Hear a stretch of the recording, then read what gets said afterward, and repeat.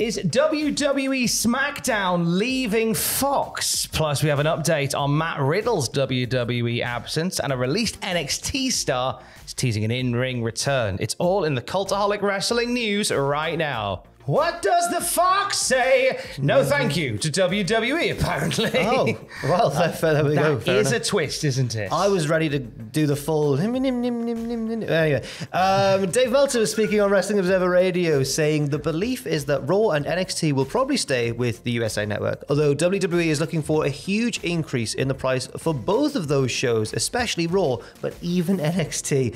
Uh, but for Raw, from uh, he says from 465 to 700 million dollars. That's crazy.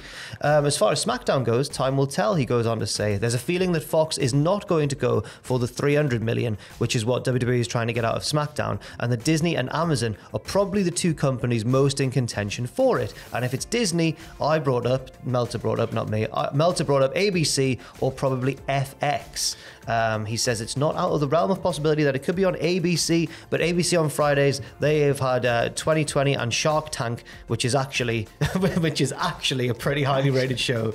Meltzer there surprised that Shark Tank. I think that's their version of Dragon's it's their Den. version of Dragon's Den, isn't it? But without the grumpy woman. And Meltzer, Meltzer is like, oh, I just actually that's a pretty highly rated show. I'd like to see Meltzer on it. Um, I've got to be four hours long. They could. He's, he goes on to say they could change nights away from Friday. He says they're not married to Friday. They're on Friday because Fox wanted them on Friday. So perhaps there's another night that ABC would want them, or perhaps they would uh, they want them to boost Fox, which they will boost greatly because it's the number one show on a weekly basis when it comes to cable on a year-on basis, 52 weeks a year. Meltzer there, round all the houses, but I get the gist of what he's saying. Yeah, because I think obviously in the in recent history we've gone, oh, SmackDown's on a Friday, it bookends Raw on a Monday. Yeah. But then like SmackDown's been on a Tuesday, it's been on a Thursday, started life on a Thursday. I, I, my memories of SmackDown are as a Thursday show. yeah, Yes. always feels like it's a, a Thursday show taped on a Tuesday. or uh, a weekend show, which which we in the UK would then watch on Catcher. But but uh, in terms of the America, a Thursday Thursday night SmackDown. But then I guess maybe that's been eroded a bit by this Friday slot, and now I think of it more as a Friday show. Are you still more in the Thursday? I camp? still feel more like a Thursday because Ah. every week myself and Matthew Gregg watch every episode of SmackDown from the beginning to its bitter end. Do they ever mention that it's Thursday? It's Thursday. Here we are. Well, they, uh, I think they'll sometimes mention it, but obviously because it's taped on a Tuesday, they're very Oh, yeah. cautious about where they talk about That's it. true. But you can listen to that on the Cultaholic podcast feed every Saturday morning. Mm. Myself and Matthew Gregg watching SmackDown from 2002 at the moment. Wow. I know, right? Uh, so in terms of if Fox doesn't buy it, that's an interesting thing that Dave Meltzer has said. Uh, Disney, Amazon. Now, Mm. when we talked about WWE being sold before the merger uh, was even a thing, Disney and Disney and Amazon were two of the companies that were somewhat in the mix to to purchase them. Yes, so maybe maybe it shows that those connections haven't yet faded away, and they're still kind of looking to do business with each other, even if it isn't an outright buying of the company.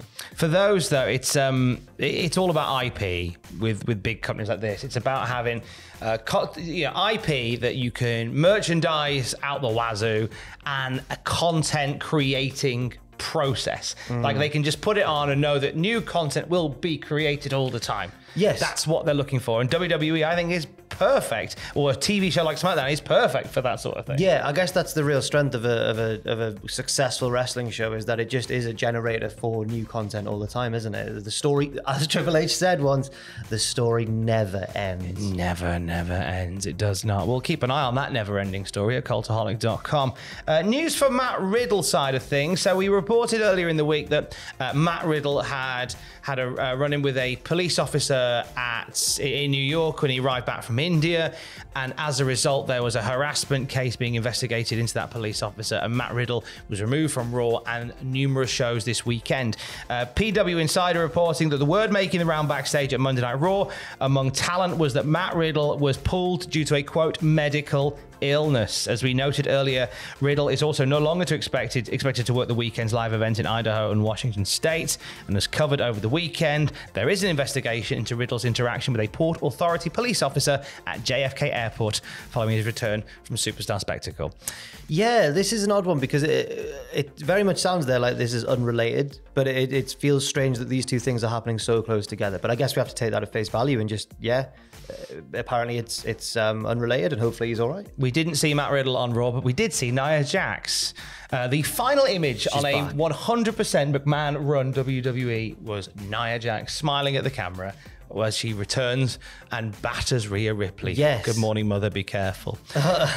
um, Asuka has come to Nia Jax's defense online. Yeah, she was asked on social media if uh, Nia Jax's return was the right move, and Asuka's response was, That question is rude and bullying. You're hurting her heart with this question. Are you really a person with a heart? If someone who has not been directly harmed by her denies her, I will fight the society for her. If I'm criticized for it, I don't care. Then somebody replied, reminding Asuka that Nia Jax has injured a lot of people or has been involved in several dangerous kind of botches.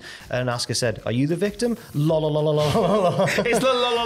Yeah. the end that get me. Yeah. Um, and then somebody said, if you wrestle Nia Jax and I've had to and have to retire afterwards, we told you so. And Asuka said, I don't need to think about failure first, but if I did, I would be happy to play a lot of video games. Asuka defending Nia Jax there. You know what? I, I I guess they were in NXT at the same time together. They, They were probably on, know each other were quite well. at the same time. The Oh, yes. Warriors feuding with Oh, yeah. Jax and Baszler. Absolutely, and and I think I can see both sides of the argument here. On one hand, yes, Nia Jax does have an unfortunate history with uh, with um, injuring people or being involved in injuries that have happened, uh, and I've always felt a bit sorry for her because people seem to wait for the next one and then all pile on. On the other hand, she never really helped herself with some of her responses on social media um, and some of the, her, I guess, her beliefs around the time of the pandemic and all that sort of stuff.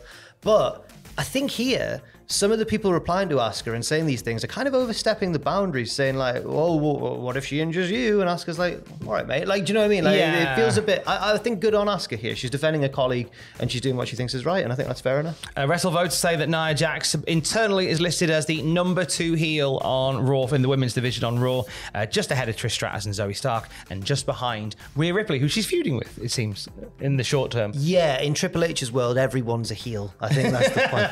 Um, but no, I- um, I I understand the the. I think I understand them putting that feud together because um, even though Rhea is nominally a heel, she will get cheered in this in this feud. Even if she's part of the Judgment Day elsewhere on the card, I think that in this match, whenever it happens, Rhea's going to be the, uh, she'll be the full baby face. Excuse me. Oh, She'll be, without a doubt. She'll be the hero of the story. They will not be. The hero of Impact Wrestling tomorrow, I believe, are the silver briefcases surrounding the ring for the return of Feast or Fired. Oh, no. It's our two week special celebrating the 1000th episode of Impact Wrestling. It's tomorrow, uh, and you will see 20 competitors in a, a- a battle it out over four silver briefcases in the return of Feast or Fired. One briefcase has a world title match, one has a, a tag title match, one has an X Division title match, and one has a Fired slip. Which means they'll be sacked. Oh my god, it's one of the most extreme stipulations in all of wrestling and one of the most curious ones as well. Um, we've got some of the participants listed here, and I'm just trying to scan this, seeing could any of these be released from their impact contract.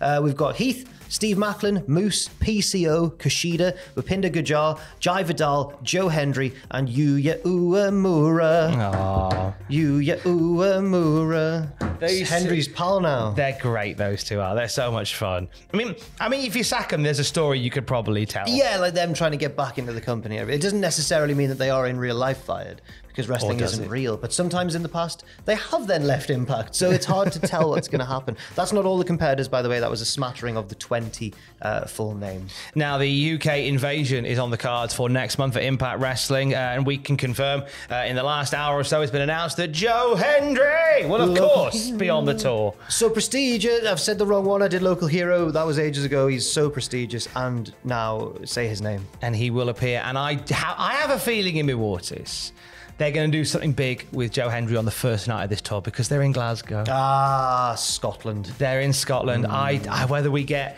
Joe Hendry get a world title match in Scotland, I feel like you've got the chance to make something really magic. It would be special. You need Oh, to stop yeah. trying to shoehorn Scottish wrestlers into cards that have already been planned out. I Tom Camp. refuse to stop. Okay. I can't. I literally can't stop. I don't know what's happening. Uh, Joe Hendry along with Grado, Oh. uh, Moose, Deonna Purrazzo, Josh Alexander, and the Impact World Champion Alex Shelley are on the UK tour as well. Um, let me just check for a second. Um, put my phone off mute and. Uh, no, Scott D'Amore has not rang me yet about Impact Wrestling at the Walker Dome in Newcastle. Scott, I, I mean, I assume you've got the right number. I was sent it you Sorry, one second. What's this? I've got one from V McMahon who says, "Is Tom Campbell about? I'm trying to get Noam Dar booked for WrestleMania." Tell him I'm too busy waiting for Scott's call. Tell him not to ring me. 'cause fair if, if Vince rings me while Scott is trying to Oh, ring me and we can't then. get through, Yeah. Come on, Scott, let's go. Uh, let's end on some, some news regarding a released NXT star who may be getting back in the ring. Yes, Mandy Rose, who uh, was asked on Instagram about her in ring future, and she gave a very interesting answer. She said, Funny you asked, your girl may or may not be a free agent soon. Uh, so that's very interesting indeed. I mean, that immediately two promotions ping up in my head when she says that Impact and even maybe AEW. Um, both promotions where, well, Impact Wrestling is often looked at as like the best women's division in, in North America, where it's like the place where women's wrestling really can flourish. She'd do a great job there. AEW are always looking to bolster their women's division as well because they've got so many names but not as many stories. And if you need someone to come in who can really drive a story uh, and really be a great heel as well, as she proved later in her NXT run, that's Mandy Rose. I feel, yeah, whilst I agree with that, I feel like she's a better fit at Impact. Yeah, maybe. I feel like Maybe. Impact has a more eclectic selection in their knockouts division. Mm. And I think that Mandy would suit that sort of selection box of wrestlers Yeah. far more than an AEW. Mandy's career, in my opinion. Mandy's trajectory in WWE was crazy. You look at it; it's all very strange. Like she, she was on the main roster for so long, went down to NXT out of nowhere, and then suddenly decided, right then, I'm just gonna, I'm just gonna improve my in-ring ability tenfold, and she did, and had an amazing title reign, and then obviously, yeah, got let go very suddenly. So, best of luck to her, whatever she does. And for the latest wrestling news throughout the day, of course, you can check out cultaholic.com. Stay safe. Love you. Bye. Scott.